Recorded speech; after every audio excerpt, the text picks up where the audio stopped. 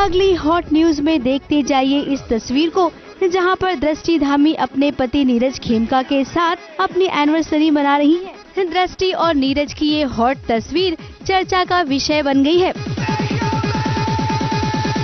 ये है ABP news आपको रखे आगे।